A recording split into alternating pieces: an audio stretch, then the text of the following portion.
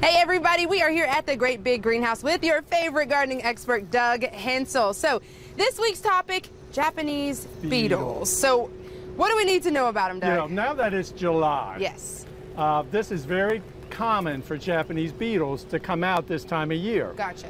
And when they're out and about, they do a lot of damage to our plant material, uh, especially roses, Uh-huh.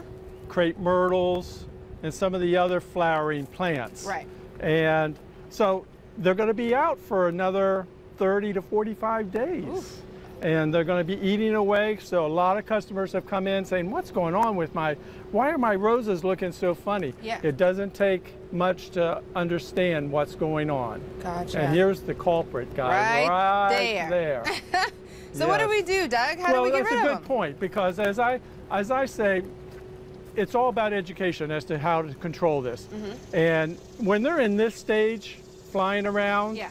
um, what I suggest, that as gross it may seem, they don't bite. Okay. I I suggest that people just find them and like this guy right here and just pick him off and put him in a bag and go around and protect your plants.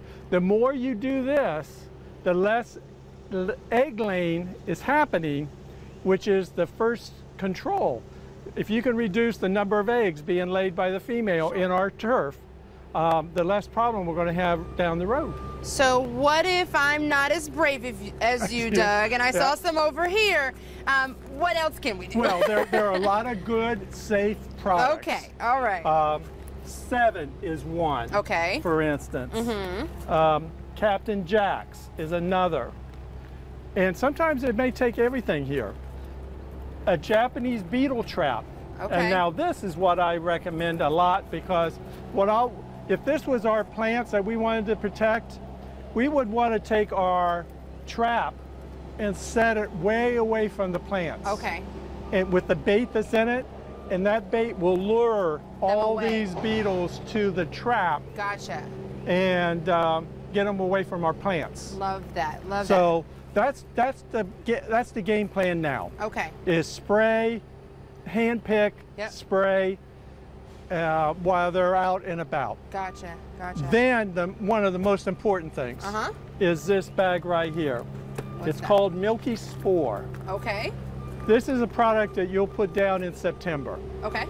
The eggs that are laid are going to turn into white grub worms. Right. We were talking about that. Yes. Yes. And this milky spore helps kill and control white grub worms. Good. So we want to do this in September while the white grub is still at the top of the surface in the soil Uh-huh. before they go deep for the winter because that's what they're going to do is go deep and live in the soil deep in the winter. Then as we warm up next spring, they're going to come and surface again. And then they'll, the first thing they're going to eat is our turf roots. Right.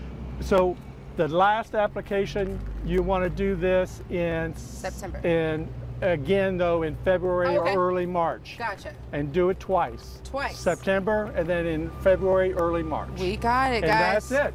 All right, so I'm not gonna. Nope, Doug. I was gonna say we're gonna end this because he's still holding that Japanese beetle in his hand. So if you have any questions for our favorite gardening expert, just send us an email at 12abouttown.com, or you can come see him at the Great Big Greenhouse. But that does it for here for us here. But more 12 About Town today coming up after the break.